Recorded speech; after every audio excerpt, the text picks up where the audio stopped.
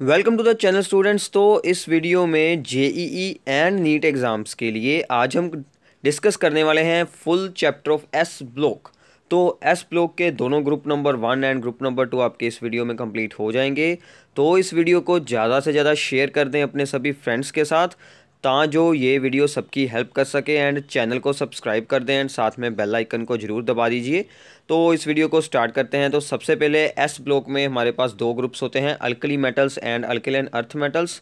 उनमें कौन कौन से एलिमेंट्स होते हैं और उनकी इलेक्ट्रॉनिक कन्फिग्रेशन एंड उनकी जो वैलेंसी बनेगी, वो क्या क्या बनेगी, वो हम सबसे पहले देखते हैं। तो जो हमारे पास अल्कली मेटल्स हैं, ग्रुप नंबर वन है, वो बहुत ही रिएक्टिव होता है। तो जो अल्कली मेटल्स होते हैं, वो रेडली डिज़ोल्व हो जाते हैं वाटर में, क्योंकि उनके हाइड्रोक्साइड्स बहुत ही स्ट्रॉन्गली बेसिक होते हैं, वो वाटर में जल्दी डिज़ोल्व हो जाते हैं, इसलिए उन्हें हम अल्कली नाम देते हैं। तो इनमें कौन कौन से एलिमेंट्स आते हैं? Lithium sodium potassium rubidium caesium francium तो आपको याद रख लेने हैं। Lithium, sodium, potassium, rubidium, caesium, francium. Atomic numbers आप यहाँ से याद रख सकते हैं। थ्री में एट प्लस करेंगे, इलेवन आ जाएगा उसमें, फिर से एट करेंगे, नाइनटीन, फिर से करेंगे, एटीन, फिर से करेंगे, एटीन, और फिर से हम इसमें ऐड करेंगे थर्टी टू। तो वहाँ से ये सभी आप सोल्व कर सकते तो इनमें जो सब में क्या होता है कि हमारे पास एस ऑर्बिटल में सिर्फ़ एक इलेक्ट्रॉन आता है तो इन सब की वैलेंसी बन जाती है वन जिसके कारण के ये सभी बहुत ही रिएक्टिव होते हैं। तो इनका आइट तो इनका एटॉमिक एंड आइनिक रेडियाई क्या है कि alkali metals have the largest atomic and ionic radii in their respective periods. क्योंकि पीरियड में अगर हम मूव करेंगे अलोंग द पीरियड तो atomic and ionic radii decrease होते हैं। तो ये तो हर एक पीरियड की स्टार्टिंग में ही एलिमेंट होता है तो इसका अटोमिक एंड आइनिक रेडियस सबसे ज़्यादा होता है रिस्पेक्टिव पीरियड में। और डाउन द ग्रुप तो अटोमिक रेडियाई इंक्रीज होता है। ये तो सिंपल है मतलब कि डाउन द ग्रुप इनका atomic and ionic size increase हो जाएगा। नेक्स्ट है आइनाइजेशन इन थेल्पी आइनाइजेशन इन थेल्पी अगर अटोमिक साइज़ छोटा होगा लो होगा तो हमारे पास आइनाइजेशन इन थेल्पी की वैल्यू ज़्यादा हो जाएगी। तो alkali metals have the lowest ionisation enthalpy in each period क्योंकि उनका अटोमिक साइज़ सबसे ज़्यादा होता है तो उनकी आइनाइजेशन इन थेल्पी सबसे लो होगी इन देयर रिस्पेक्टिव पीरियड्स और down the group ionisation enthalpy decrease करती है। तो आगे चलते हैं। फ़िज़िकल प्रॉपर्टीज़ इनकी कुछ all these metals are soft and have low melting and boiling points क्योंकि इनमें वीक मेटेलिक बॉन्ड्स बनते हैं क्योंकि अनपेड इलेक्ट्रॉन्स इतने ज़्यादा इनके पास नहीं होते, इसलिए all these metals are strongly electropositive ये जल्दी इलेक्ट्रॉन रिलीज़ कर देते हैं क्योंकि इनकी लो आइनाइजेशन इंथेल्पी है। And alkali metals and their salts impart the characteristic flame colouration ये फ्लेम में करेक्टरिस्टिक कलर्स शो करते हैं this is the very important property of alkali metals क्योंकि इनकी आइनाइजेशन इन थेल्पी लो होती है। So so, जो बर्नर होता है तो बर्नर की फ्लेम में ही इनके इलेक्ट्रॉन्स एक्साइट होकर हायर स्टेट्स में चले जाते हैं। और जब वो इलेक्ट्रॉन्स वापस आते हैं फॉल करते हैं तो वो जो रेडिएशंस छोड़ते हैं, वो विजिबल रीजन में ही होती हैं। इसलिए हमें इनके अलग अलग रंग दिखते हैं, जैसे कि सोडियम का सोडियम का गोल्डन कलर होता है जब हम उसे जलाते हैं तो ऐसे इनके अलग अलग रंग होते हैं, इसलिए इनको फायर क्रैकर्स में भी यूज़ किया जाता है अलग अलग रंगों के लिए। Alkali metals show photo electric effect ये फ़ोटो इलेक्ट्रिक इफ़ेक्ट शो करते हैं मतलब अगर रेडिएशन स्ट्राइक होगी तो इलेक्ट्रॉन्स रिलीज़ हो जाएँगे। So caesium show this effect to the maximum extent due to the lowest ionisation energy caesium में ये सबसे ज़्यादा शो होता है। केमिकल प्रॉपर्टीज़ तो ये केमिकल प्रॉपर्टीज़ इनकी क्या है? रेक्टिविटी इनकी क्या है? Reactivity down the group increase होती है, क्योंकि अटोमिक साइज़ यहाँ पर अनक्रीज हो जाता है और आइनाइजेशन इन थेरेपी डिक्रीज हो जाती है। एक्टिविटी टुवार्ड्स एयर और oxygen all alkali metals get tarnished on exposure to air air में एक्सपोज होने पर सभी अल्कली मेटल्स जो हैं, वो यह टार्निश हो जाते हैं मतलब उनका जो सरफेस होता है, वो रेक्ट होना शुरू हो जाता है।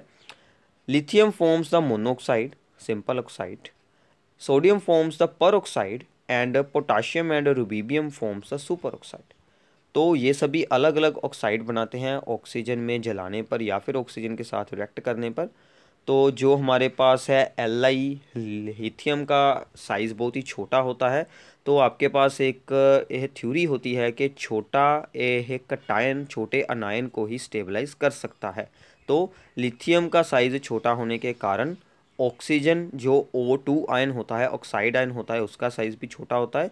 तो ये दोनों नॉर्मल ऑक्साइड बनाते हैं। जैसे जैसे हमारे पास atomic size ionic size increase होता है तो फिर वो बनाता है पर ऑक्साइड और फिर वो बनाता है सुपर ऑक्साइड क्योंकि वीक उसके आसपास जो पॉजिटिव फ़ील्ड होती है ए कटायन के आसपास वो भी वीक हो जाती है। वीक हो जाने के कारण और ऑक्सीजन उसमें ऐड होने शुरू हो जाते हैं।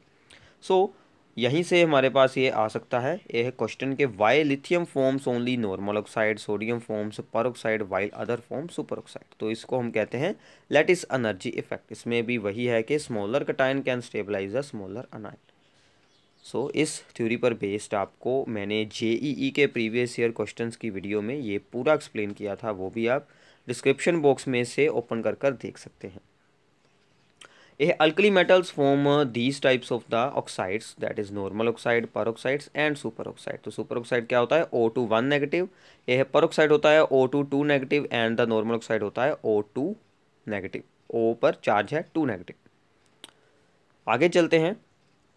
तो एक बात और याद रख लीजिए, जो सुपर ऑक्साइड होते हैं, वो पैरामैग्नेटिक होते हैं, क्योंकि उनमें एक ओड इलेक्ट्रॉन्स का बॉन्ड होता है। ये तीन इलेक्ट्रॉन्स का यहाँ पर एक बॉन्ड बनता है so they are paramagnetic in behaviour. आगे चलते हैं reactivity to what's the water तो वाटर के साथ रेक्ट होकर क्या बनाएँगे ये? हाइड्रोक्साइड्स बनाएँगे। हाइड्रो ऑक्साइड्स तो lithium reacts less vigorously but other react explosively तो आपको याद होगा, आपने छोटी क्लासेस में बहुत बार ऐसा किया होगा कि सोडियम एंड पोटाशियम वाटर के साथ जब रेक्ट करते हैं तो वो वहाँ पर जलने जलना शुरू हो जाता है। इट कैचेज फायर इमिजिएटली क्योंकि वहाँ पर हाइड्रोजन गैस रिलीज़ होती है रेक्शन एक्जोथर्मिक होती है। रेक्शन की हीट हाइड्रोजन गैस को जला देती है, इसलिए। तो इसलिए हम इनको नॉर्मली जो है वो कैरोसिन या फिर पेट्रोलियम में ही स्टोर कर कर रखते हैं। सोडियम पोटाशियम जैसे जो रेक्टिव अल्कली मेटल्स हैं उनको। आगे चलते हैं रेक्टिविटी टुवार्ड्स द हाइड्रोजन तो हाइड्रोजन के साथ रेक्ट होकर ये बनाएँगे hydrides alkali metals react with hydrogen to form the hydrides are ionic solids these are ionic solids and strong reducing agent strong reducing agent मतलब दूसरे की रिडक्शन जल्दी करवा देंगे मतलब अपना जल्दी हाइड्रोजन आयन उनको दे देंगे। तो एम एच फार्मूला के ये बनाएँगे। यह इसमें हाइड्रेट्स क्योंकि इनकी वैलेंसी वन होती है। तो इसमें हाइड्रोजन पर आएगा नेगेटिव चार्ज ये बात आपको याद रखनी है।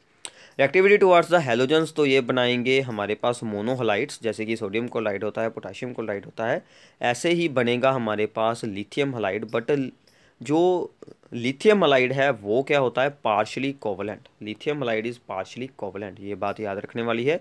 क्योंकि लिथियम पॉजिटिव का साइज़ होता है स्मॉल जिसके कारण के वो has maximum tendency to distort electron cloud of the anion तो वो इलेक्ट्रॉन क्लाउड ऑफ़ अनायन को ज़्यादा डिस्टोर्ट करवा लेता है, अपनी तरफ़ ज़्यादा खींच लेता है इलेक्ट्रॉन क्लाउड को उसकी शेप ऐसी बना देता है।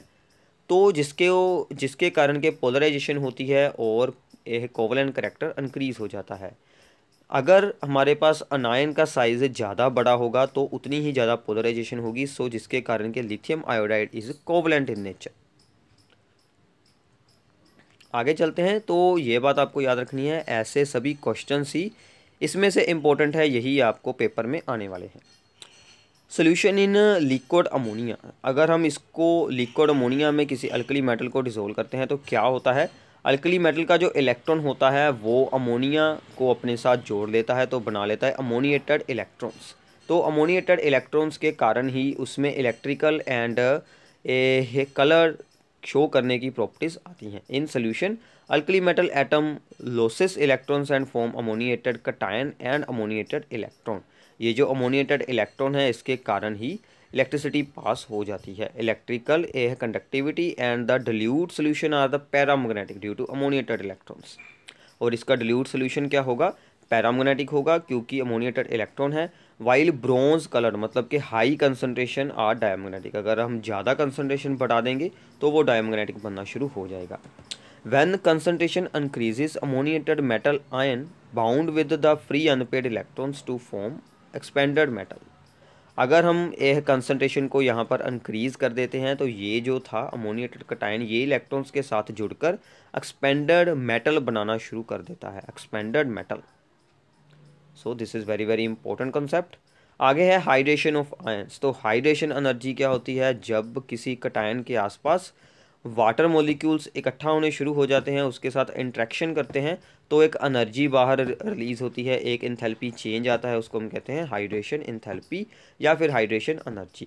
तो smaller the size of cation greater is the degree of hydration जितना छोटा होगा कटायन उतनी ज़्यादा ही हाइड्रेशन होगी। तो यहीं से हमारे पास इसका आंसर मिल जाएगा। Why lithium positive ion has the largest ionic in size a hydrated ionic radii lithium positive ion जो होता है, वो जब हाइड्रेटेड फॉर्म में होता है तो उसका आयनिक रेडियस सबसे ज़्यादा होता है और उसकी और उसकी मोबिलिटी सबसे लो हो जाती है। दिस इज़ बिकॉज़ के लिथियम पॉजिटिव आयन का साइज़ सबसे छोटा होता है तो उसकी हाइड्रेशन सबसे ज़्यादा हो जाती है। तो उसकी ज़्यादा हाइड्रेशन होने के कारण उसका आयनिक रेडियस इंक्रीज़ हो जाता है, क्योंकि क्योंकि उसके आसपास वाटर के मोलिक्यूल इकट्ठा हो जाते हैं तो इसके कारण उसका आयनिक रेडियस इंक्रीज़ हो जाता है। तो जिसके कारण कि उसकी मोबिलिटी भी डिक्रीज़ हो जाती है। सो so, ऐसे ही अगर हम बाकी आयंस के बारे में बात करेंगे तो हाइड्रेशन सबसे ज़्यादा होगी लिथियम की सो उसका ही ionic radii in the solution सबसे ज़्यादा होगा एंड सीजियम का सबसे होगा यह कम। अगर हम उसके हाइड्रेटेड आयन की बात करें तो।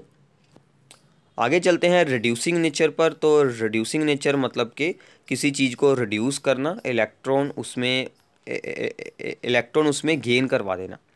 They are strong reducing agents क्योंकि उनकी जो आइनेशन इन थेल्पी है, वो लो होती है। So they have large negative reduction potentials reduction potentials क्या होते हैं? रिड्यूस होने की टेंडेंसी अगर वो माइनस में है मतलब चीज़ ऑक्सीडाइज होगी और दूसरे को जल्दी रिड्यूस कर देगी। So they liberate hydrogen from alcohols and acetylene वो इतने स्ट्रॉन्ग रिड्यूसिंग एजेंट्स होते हैं कि वो अल्कोहल से भी हाइड्रोजन को बाहर निकाल सकते हैं एंड अस्टाइलिन से भी। ये आपने ऑर्गेनिक में रीड किया होगा कि जो सोडियम मेटल के साथ अल्कोहल या फिर अस्टाइलिन रिएक्ट करती है तो वो अपना एसिडिक बिहेवियर वहाँ पर शो करती है एंड हाइड्रोजन गैस को रिलीज़ कर देते हैं। आगे चलते हैं कि lithium is expected to be the least reducing agent lithium हमें एक्सपेक्ट था कि लीस्ट रिड्यूसिंग एजेंट होगा क्योंकि डाउन द ग्रुप जाएँगे तो आइनेशन इंथेल्पी डिक्रीज होगी तो जल्दी इलेक्ट्रॉन रिलीज़ होगा तो ज़्यादा स्ट्रॉन्ग रिड्यूसिंग एजेंट होगा। But it is strongest reducing agent but lithium is the strongest reducing agent from the alkali metals why ये हमने एक्सप्लेन करना है। तो इसके लिए हमें पूरी प्रोसेस को देखना पड़ेगा कि जो रिडक्शन करवाने की पूरी प्रोसेस है, उसमें क्या क्या स्टेप्स होते हैं। तो सबसे पहले ये रिएक्शन होनी है कि एक सॉलिड फॉर्म में है हमारे पास अल्कली मेटल उसने एक्वस फॉर्म में चेंज होना है और साथ में इलेक्ट्रॉन को बाहर निकालना है। तो सबसे पहले तो सॉलिड से हम उसे बनाएँगे गैसियस में। उसमें लिए यूज़ होगी इंथेरेपी ऑफ़ सब्लिमेशन गैसियस में से इलेक्ट्रॉन बाहर आएगा, वो होगी यहाँ पर आइनेशन इंथेल्पी बाद में जो गैसियस आयन है, वो बनेगा एक्वस में, वो होगी हाइड्रेशन इंथेल्पी तो हमने अभी रीड किया था लिथियम की हाइड्रेशन इंथेल्पी बहुत ज़्यादा होती है, जो कि आयनाइजेशन इंथेल्पी से भी ज़्यादा हो जाती है तो उसको भी वो यह कंपनसेट यह कर देती है. So hydration enthalpy is very large for lithium positive ion so that the energy released is so large that it compensate the high ionization enthalpy इसके कारण lithium is the strongest reducing agent क्योंकि hydration enthalpy release होगी ionisation enthalpy absorb होगी। अब अगर release होने वाली energy absorb होने से ज़्यादा हो जाएगी तो वो खुद ब खुद ही स्ट्रॉन्ग रिड्यूसिंग एजेंट बन जाएगा। आगे चलते हैं इनके ऑक्साइड्स एंड हाइड्रोक्साइड्स के बारे में। हमारा पहले ही हो चुका है तो सुपर ऑक्साइड्स इनके पैरामोनेटिक होते हैं इन नेचर तो इसके बाद है हमारे पास इसमें इनके जो हलाइट्स बनते हैं उनके बारे में भी हमने पहले डिस्कसन हो चुकी है कि इनके हलाइट्स जो हैं वो मोनोहलाइट्स बनते हैं। एंड uh, उसके बाद है कि इनके salts of oxo acids oxo acids के साल्ट्स बना सकते हैं मतलब कि कार्बोनेट्स बना सकते हैं बाइकार्बोनेट्स बना सकते हैं सल्फेट्स बना सकते हैं। तो ऑक्सो एसिड्स क्या होते हैं? जिनमें ऑक्सीजन भी होती है हाइड्रोक्सल ग्रुप होता है। With oxo group attach to the same acid वो होते हैं oxo acids now anomalous behaviour of the lithium lithium का अनोमलस बिहेवियर क्यों होता है? अनोमलस मतलब उसका बिहेवियर पूरे ग्रुप से अलग होता है, क्योंकि जो लिथियम है, उसका साइज़ सबसे छोटा है हाई आइनाइजेशन इंथेल्पी है, और उसमें डी ऑर्बिटल्स की भी एब्सेंस है, इसलिए उसका बिहेवियर सबसे अलग होता है. तो क्या क्या अलग होता है? वो हम देखते हैं. लिथियम इज़ हार्डेस्ट लिथियम सबसे हार्ड होता है. ग्रुप नंबर वन में से। हाई मेल्टिंग पॉइंट होता है, बॉइलिंग पॉइंट हाई होता है रेक्टिविटी लो होती है। लिथियम इज़ डी लिक्योसेंट होता है। डी लिक्योसेंट क्या होते हैं? जो मॉइस्चर को ऑब्जॉर्ब कर कर उसमें डिजोल्व हो जाते हैं। क्रिस्टलाइजेस एज हाइड्रेट्स और उसके हाइड्रेट्स बन सकते हैं। इट फॉर्म्स ओनली मोनोक्साइड्स बनाता है। And its compounds have lower ionic character क्योंकि छोटा यह कटायन है तो पोलराइजेशन ज़्यादा हो जाती है। तो it react with the nitrogen in air to form the lithium nitrite lithium hydroxide and lithium carbonates are uh unstable lithium के हाइड्रोक्साइड एंड लिथियम के कार्बोनेट्स अनस्टेबल होते हैं। वही यहाँ पर बात आएगी कि छोटा कटायन सिर्फ़ छोटे अनायन को ही स्टेबलाइज कर सकता है। इसलिए it does not react with acetylene but react with the uh carbon ये अस्टाइलिन के साथ नहीं रेक्ट करता सोडियम हो जाता है पोटाशियम हो जाता है बट ये, यह कार्बन के साथ रेक्ट हो सकता है। तो ये थी उनकी प्रॉपर्टीज़ तो एक बात को आपको ध्यान में रख लेना है कि जेईई और नीट एग्ज़ाम में इन्हीं प्रॉपर्टीज़ में से ही क्वेश्चन पूछे जाते हैं तो इनको ध्यान से रीड करना है आपको। आगे चलते हैं डायगनल रिलेशनशिप तो डायगनल रिलेशनशिप क्या है कि group number period number two and period number three के एलिमेंट्स में डायगनली रिलेशन है, जैसे कि लिथियम और मैग्नीशियम में है। लिथियम यहाँ पर आता है और बाद में आता है यहाँ पर सोडियम और यहाँ पर है magnesium, group number sorry, uh, period number, uh three में। तो लिथियम और मैग्नीशियम में डायगनली रिलेशनशिप है। वो हमें एक्सप्लेन करना है यहाँ पर। Now they have the same atomic radii उनका atomic radii ionic radii same होता है। इसी के कारण ही उनमें सिमिलैरिटीज़ होती हैं। Lithium hydroxide and the magnesium hydroxide both are weak bases दोनों ही वीक बेसिस होते हैं। Both react with N two to form the nitrites both form the monoxides दोनों ही मोनोक्साइड्स बनाते हैं। Solid bicarbonates of the lithium and magnesium are not formed दोनों के ही बाइकार्बोनेट्स सोलिड नहीं बनते। The nitrates of both lithium and magnesium evolved NO two and O two on heating ये बहुत ही इंपॉर्टेंट है। ये आपको जेईई में आ चुका है। क्वेश्चन के दोनों को ही हीट करने पर दोनों के ही नाइट्रेट्स को हीट करने पर ये एनओ टू और ओ टू बनती है। सो so, इसके बाद है कि जैसे कि आपको अगर ऑक्सीडेशन स्टेट फाइंड करनी हो के ओ टू में के की तो आपको ध्यान रखना है कि के ओ टू है। ओ टू ओ टू यहाँ पर कौन सी फॉर्म में है? This is a super oxide तो तो सुपर ऑक्साइड की ऑक्सीडेशन स्टेट क्या होती है? माइनस वन तो यहाँ पर के की क्या आ जाएगी? प्लस वन तो पोटाशियम की तो हमेशा प्लस वन ही रहेगी। साथ में कौन सा ऑक्साइड है, ये आपको ध्यान रखना है। Why K O two is paramagnetic ये हमने शुरू में ही बताया था कि सुपर ऑक्साइड्स क्या होते हैं? पैरामोनेटिक होते हैं।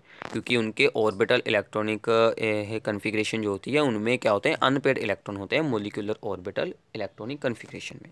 इसलिए some important compounds of the sodium तो this is very very important so sodium के कुछ इंपॉर्टेंट कंपाउंड सबसे पहले है sodium carbonate that is the washing soda that is N A two C O three uh है ten H two O इसको हम prepare कैसे करते हैं? सोलवेस प्रोसेस के साथ. This is very very important Solvay process इसमें हम क्या क्या करेंगे?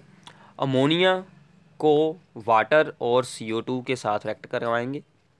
उसको हम आगे फिर से वाटर और सी ओ टू के साथ रेक्ट करवाएँगे. मतलब इसमें ही आगे फिर से ऐड हो जाएगी, आप इसको एक स्टेप में भी याद रख सकते हैं तो अमोनियम बाई कार्बोनेट बन जाएगा। Ammonia water and carbon dioxide तो याद कर लें ammonia water and carbon dioxide क्या बनाते हैं? Ammonium bicarbonate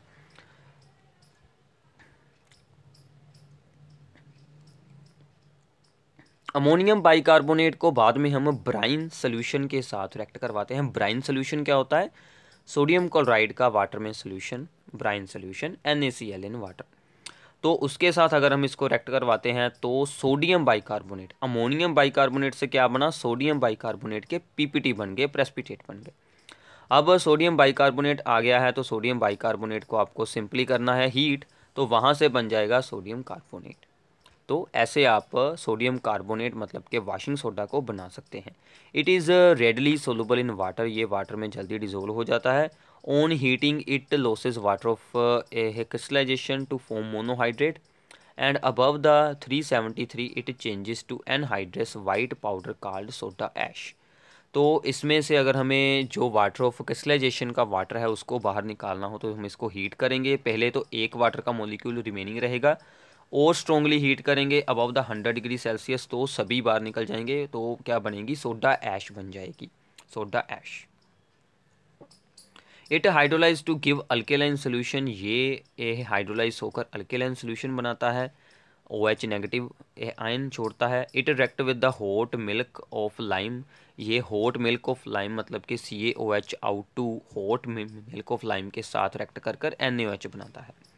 It is use for softening the hard water इसके यूजेज़ हैं।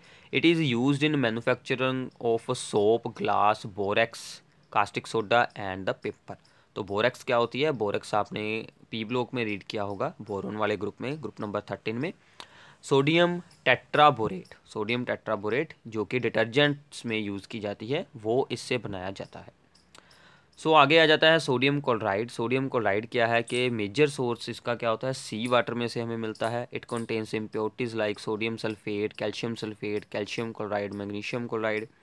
ये इसमें इम्प्योरिटीज़ होती हैं, जो हम कॉमन साल्ट यूज़ करते हैं हैं, उसमें मैग्नीशियम क्लोराइड जैसे डी लिक्योसेंट सब्सटेंसेस होते हैं। तो खुद सोडियम क्लोराइड डी लिक्योसेंट बिल्कुल नहीं होता, उसमें जो इम्प्योरिटीज़ ऐड की जाती हैं मैग्नीशियम क्लोराइड जैसी, वो डी वो डी लिक्योसेंट होती हैं। प्रॉपर्टीज़ क्या है? It is a white crystalline solid it has a high melting point uh above thousand uh kelvin pure sodium chloride is non hygroscopic, वो नॉन हाइग्रोस्कोपिक है। हाइग्रोस्कोपिक सब्सटेंस भी वही होते हैं जो मॉइस्चर को ऑब्जॉर्ब करते हैं बट उसमें डिजोल्व नहीं होते।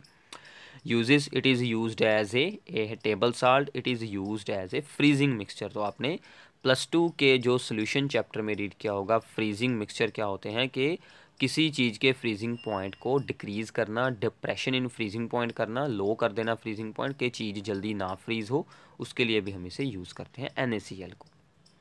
Sodium hydroxide sodium hydroxide that is the caustic soda it is prepared by the electrolysis of the saturated solution of N N के सेचुरेटेड सोल्यूशन में से इलेक्ट्रिसिटी पास करवा दें तो वहाँ पर बन जाता है सोडियम हाइड्रोक्साइड तो इसकी प्रॉपर्टीज़ आपको खुद ब खुद रीड करनी है। सिंपल है सोडियम हाइड्रोक्साइड तो ये आप यहाँ पर स्क्रीन से रीड कर सकते हैं वीडियो को पॉज कर कर। आगे चलते हैं sodium hydrogen uh carbonate that is the baking soda तो बेकिंग सोडा हमने ऊपर जो रिएक्शन की थी, वहीं पर ही बन गया था। तो हम इसे वहीं पर उसी सेम सोलवेज प्रोसेस में से बना सकते हैं। तो इसका यूज़ क्या करते हैं? बेकिंग सोडा को बेकिंग पाउडर में यूज़ किया जाता है। बेकिंग पाउडर जो कि हम कुकिंग में यूज़ करते हैं। बहुत सारी पेस्ट्रीज केक बनाने में काम आता है। क्यों आता है? क्योंकि जब हम इसको हीट करते हैं तो इसमें से सी बाहर निकलती है, जो कि उस फ़ूड को फ्लफ़ी बना देती है, उस चीज़ को फुला देती है, जैसे कि ब्रेड को फुला देती है। तो इसमें साथ में एक, कोई भी इसमें आप साथ में उसके एक इसमें एसिड ऐड करते हैं, जो कि एडिबल एसिड्स होते हैं, जैसे कि टाटारिक एसिड हो गया सिट्रिक एसिड हो गया, ता जो बेसिक जो उसमें टेस्ट होगा, उसको वो ख़त्म कर सके। और मेन इसका क्या होता है पर्पस ऐड करने का सी को रिलीज़ करवाना। आगे है इसमें कि it is use as a medicine for as a antacid मतलब कि जब हमें एसिडिटी होती है उसको रिमूव करने के लिए हम इसको यूज़ करते हैं। और सोडा वाटर में भी इसको हम यूज़ कर लेते हैं। ऐसे ये इसके यूजेस हैं। तो इसके बाद है बायोलॉजिकल इम्पोर्टेंस सोडियम आयन की। तो सोडियम आयन है जो वो ब्लड प्लाज्मा का एक इम्पोर्टेंट ये कंपोनेंट है, ये बहुत ही इम्पोर्टेंट है। इनको सभी को आपको याद रख लेना है।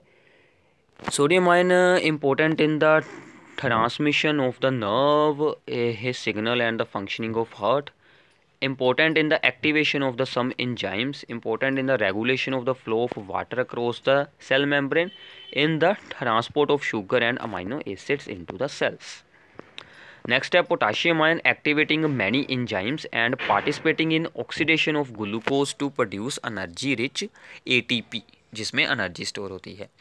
प्रोटीन सिंथेसिस एंड ऐसे ही इनके ये और बहुत सारे बायोलॉजिकल इम्पोर्टेंसेस हैं। तो ये आप यहाँ से रीड, ए कर सकते हैं। इसके बाद हमारे पास alkaline earth metals group number two alkaline earth metals में आते हैं beryllium magnesium calcium strontium barium radium so beryllium magnesium calcium strontium barium radium atomic number four उसमें एट प्लस करेंगे, उसमें एट करेंगे, फिर हम करेंगे एटीन एटीन फिर हम करेंगे थर्टी टू तो इनमें सभी में क्या होता है? एस टू मतलब एस ऑर्बिटल ये फुली फिल्ड है तो इनकी वैलेंसी टू पॉजिटिव तक जा सकती है.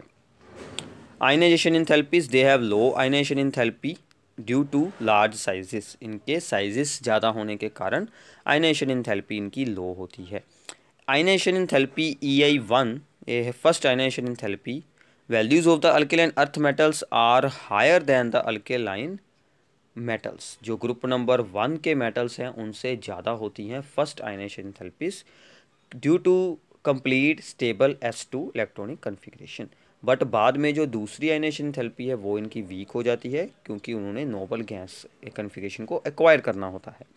Hydration enthalpies of the alkaline earth metals have more hydration enthalpy than alkaline earth metal क्योंकि ज़्यादा छोटा साइज़ और चार्ज ज़्यादा होता है, इन पर टू पॉजिटिव चार्ज आ जाता है और along the period atomic sizes ionic sizes भी डिक्रीज होते हैं, इसलिए। करेक्टरिस्टिक फ्लेम कलरेशन ये फ्लेम में करेक्टरिस्टिक कलर शो करते हैं एक्सेप्ट ब्रिलियम एंड मैग्नीशियम तो ये आपको आ सकता है पेपर में। Except beryllium and magnesium all alkaline earth metals salt impart characteristic colour to the flame flame में एक करेक्टरिस्टिक कलर शो करते हैं ब्रिलियम एंड मैग्नीशियम को छोड़कर। ब्रिलियम एंड मैग्नीशियम का साइज़ होता है स्मॉल एंड उनके एनेशन इन थेल्पीज आर हाई होती हैं, इसलिए वो फ्लेम में एक्साइट नहीं हो पाते इलेक्ट्रॉन इसके कारण। केमिकल प्रॉपर्टीज़ इनकी रिएक्टिविटी इंक्रीज करती है डाउन द ग्रुप एयर में ऑक्सीजन के साथ रेक्ट कर कर वो ऑक्साइड्स बनाते हैं। Beryllium and magnesium are kinetically inert toward oxygen due to formation of a film of oxide on their surface वो ब्रिलियम एंड मैग्नीशियम यह मैग्नीशियम ऑक्साइड ब्रिलियम ऑक्साइड की अपने ऊपर एक लेयर बना लेते हैं, जिसके बाद कि उनकी रिएक्टिविटी डिक्रीज हो जाती है। हाउएवर पाउडर्ड बेरिलियम अगर हम उनको पाउडर फॉर्म में यूज़ करेंगे तो रेक्ट हो जाएँगे। एक्टिविटी टुवार्ड्स हाइड्रोजन वो यहाँ पर हाइड्रेट्स बनाएँगे except beryllium all other combine with hydrogen upon heating to give hydrates M H two formula के। एक्टिविटी टुवार्ड्स हेलोजन्स हेलोजन्स के साथ मिलकर वो डाई हेलाइट्स बनाएँगे। एक्टिविटी टुवार्ड्स एसिड्स में से वो हाइड्रोजन गैस को रिलीज़ कर देंगे। ये भी सिंपल है। रिड्यूसिंग नेचर होगा they are strong reducing agents but lesser reducing powers than alkali metal alkali metal से डिक्रीज लो होती हैं, इनकी रिड्यूसिंग पावर बट फिर भी ये स्ट्रॉन्ग रिड्यूसिंग एजेंट्स होते हैं। All alkaline earth metals dissolves in ammonia solution to form ammoniated ions ये भी अमोनिएटेड आयंस बना लेते हैं। And also all these have tendency to form complexes इनकी कम्प्लेक्स बनाने की टेंडेंसी भी होती है। Beryllium and magnesium have maximum tendency due to small size छोटा साइज़ होने के कारण ब्रिलियम एंड मैग्नीशियम की टेंडेंसी कम्प्लेक्स बनाने की सबसे ज़्यादा होती है। ये एक उसकी एग्ज़ाम्पल है। General characteristics of the compounds oxides and hydroxides these form oxides MO beryllium oxide is a covalent and amphoteric this is very very important beryllium oxide is covalent and amphoteric all other oxides are basic and have rock salt like structure ये आपको याद रखना है beryllium oxide is amphoteric and is covalent beryllium oxide and magnesium oxide are insoluble in water due to the large lattice enthalpies तो ये भी आपको याद रखना है, क्योंकि smaller cation can stabilize smaller anion So, beryllium oxide and magnesium oxides are both insoluble due to large lattice enthalpies. Other oxides form hydroxides with water तो this is very very important ये दोनों ही points बहुत ही important रहेंगे। Basic strength of the hydroxide increases down the group due to decrease in ionization enthalpy वो तो इनमें सेम होता है कि बेसिक स्ट्रेंथ इनकी इंक्रीज होगी। Hydroxides of the alkaline earth metals are less basic than hydroxides of the alkaline a alkali metals alkali metal के hydroxide से इनकी बेसिसिटी ए डिक्रीज हो जाती है लो होती है। इसके बाद के है कि जो इनके हलाइट्स बनते हैं, वो हमारे पास इनके डाई हलाइट्स बनते हैं। इसमें एम एक्स टू फार्मूला के जो बेरिलियम हलाइड होता है, वो हमारे पास होता है covalent in nature but all other are a ionic in nature and soluble in water तो ਇਹ एनहाइड्रस हलाइट्स आर हाइग्रोस्कोपिक जो इनके एनहाइड्रस हलाइट्स होते हैं, वो ये हाइग्रोस्कोपिक होते हैं एंड वाटर को अब्जॉर्ब कर लेते हैं, जैसे कि beryllium chloride calcium chloride magnesium chloride ये सभी वाटर को अपने साथ जोड़ लेते हैं वाटर ऑफ़ क्रिस्टलाइजेशन की फॉर्म में। Therefore calcium chloride anhydrous calcium chloride को हम डिहाइड्रेटिंग एजेंट की तरह भी यूज़ करते हैं। Except of beryllium chloride and magnesium chloride the chlorides of other members impart characteristic flame coloration ये हमने ऊपर भी किया था।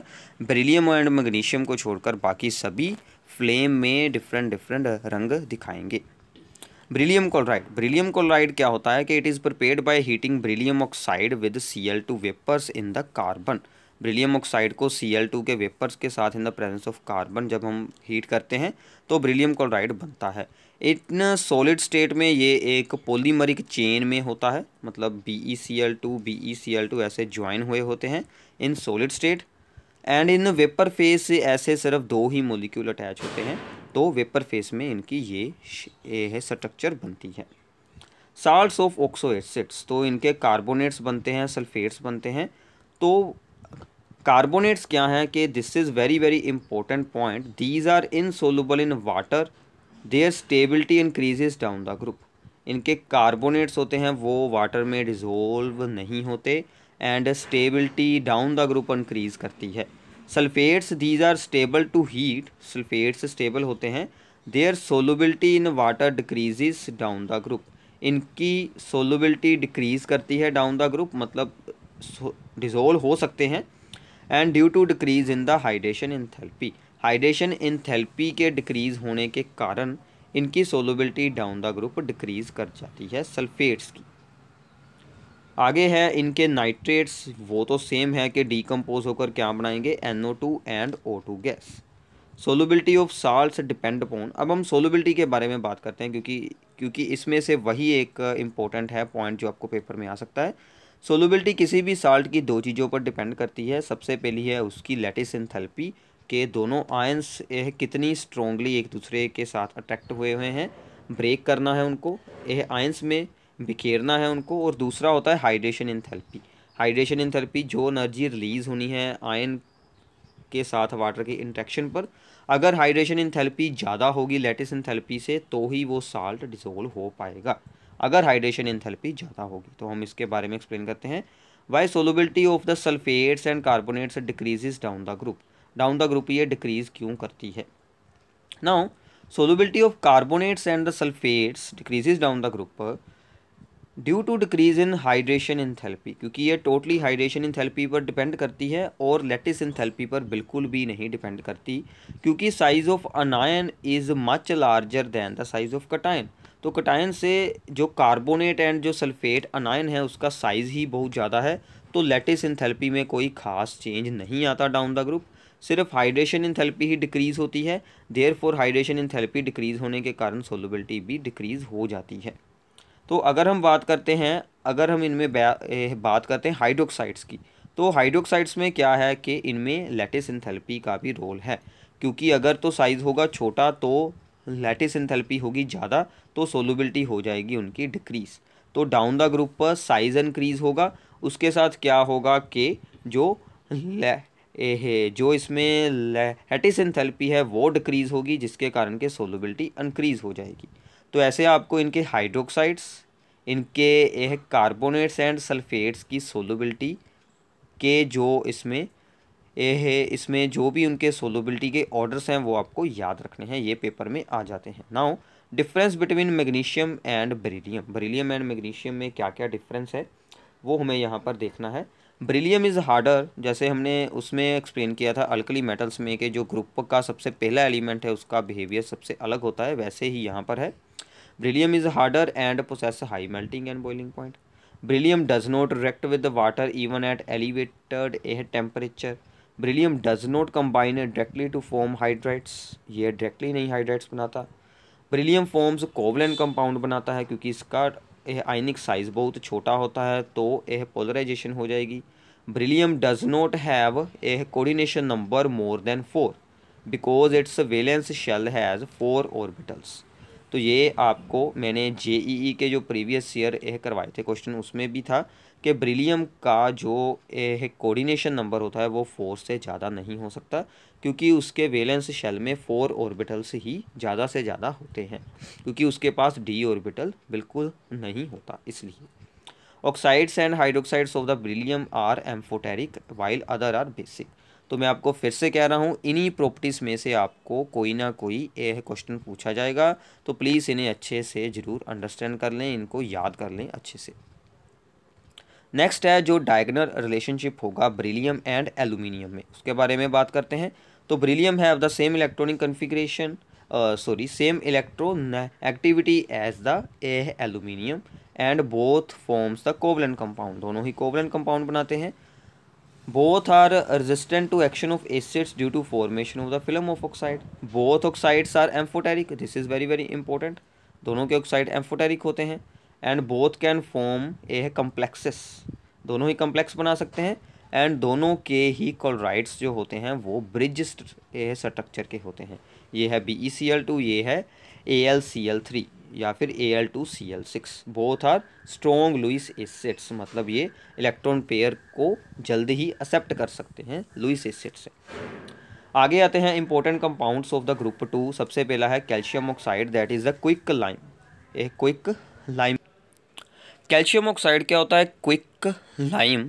इसको हम कैसे बना सकते हैं? कैल्शियम कार्बोनेट को अगर हम करेंगे हीट तो वहाँ से इसे हम फॉर्म कर सकते हैं। प्रॉपर्टीज़ इसकी क्या है कि ये वाटर के साथ रेक्ट हो जाता है और ये कैल्शियम हाइड्रोक्साइड बनाता है। सी के साथ रेक्ट होता है तो ये कैल्शियम कार्बोनेट बनाता है। और ये वाटर के साथ रेक्ट होकर जब ये कैल्शियम हाइड्रोक्साइड बनाता है तो उसमें हीट एनर्जी रिलीज़ करता है। ये स्लेक्ट लाइम बनाता है। स्लेक्ट लाइम तो ये एक एक्जोथर्मिक रिएक्शन होती है। It is obtained in the form of hard lumps when heated with oxyhydrogen flame gives brilliant white light called limelight ये हमें हार्ड लम्स की फॉर्म में मिलता है मतलब कि हार्ड फॉर्म में मिलता है। तो अगर हम इसको जलाएँगे ऑक्सी हाइड्रोजन फ्लेम में तो ये एक white light brilliant white light में जलता है, जिसको हम के हम नाम देते हैं limelight it is use to dry gases और use as a flux in metallurgy metallurgy में फ्लक्स मतलब जो गेंस को बाहर निकालती है इम्प्योरिटीज़ को बाहर निकालती है, उसके लिए हम इसे यूज़ करते हैं। आगे आ जाता है calcium hydroxide that is a slaked lime C A O H out two ये होता है हमारे पास aqueous solution is called the lime water अगर हम इसका एक्व सोल्यूशन बनाते हैं तो अगर इसका एक्व सोल्यूशन है तो उसे हम कहते हैं लाइम वाटर एंड जो इसकी सस्पेंशन होती है इन वाटर उसको हम कहते हैं मिल्क ऑफ़ लाइम और वैसे हम इसको कहते हैं स्लेक्ट लाइम तो ये तो ये भी पेपर में पूछे जा सकते हैं। और ये सी एल टू के साथ रेक्ट कर कर क्लोरिन गैस के साथ रेक्ट कर कर बनाता है bleaching powder C A O C L two इसका फार्मूला होता है। और लाइम वाटर को अगर हम सी के साथ रेक्ट करवाते हैं तो वो क्या बन जाता है? मिल्की हो जाता है due to the formation of calcium carbonate अगर हम उसको फिर से सी के साथ रेक्ट करवाते हैं तो वो कैल्शियम कार्बोनेट उसमें कैल्शियम बाइकार्बोनेट बनकर डिज़ोल्व हो जाता है एंड जो मिल्कीनेस होती है, वो डिसपियर हो जाती है. ये सभी प्रॉपर्टीज़ ही बहुत ही इंपॉर्टेंट हैं इसकी कैल्शियम हाइड्रोक्साइड की. तो इसके यूजेस आपको खुद रीड कर लेने हैं. आगे आता है कैल्शियम ए कार्बोनेट वो भी आपको अब खुद रीड करना है। सिंपल है सेम टू सेम यही सब कुछ उसमें रिपीट होने वाला है। तो मार्बल या फिर उसका एक और नाम है लाइमस्टोन या मार्बल या कैल्शियम कार्बोनेट। सो so, इसके बाद आता है plaster of Paris. Plaster of Paris का फॉर्मूला क्या होता है? C A S four calcium sulphate dot half H two O मतलब उसके साथ हाफ़ हाइड्रेटेड मोलिक्यूल होता है वाटर का। तो या फिर ये दो लग जाएँगे और वो सिर्फ़ एक होगा। इसको हम पीओपी के नाम से यूज़ करते हैं।